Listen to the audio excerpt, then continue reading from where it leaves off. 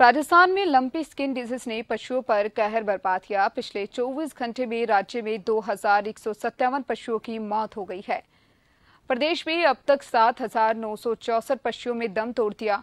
बीमारी से प्रदेश में एक लाख अट्ठावन हज़ार पिछहत्तर संक्रमित हुए, जिनमें से एक लाख अट्ठाईस हज़ार आठ सौ अट्ठाईस का इलाज चल रहा है। तिरपन हज़ार छह सौ चौबीस पशु ठीक हो गए। राज्य में सत्रह जिलों को बीमारी ने अब चपेट में ले लिया है। बाड़मेर में बीमारी अपने चरम पर है।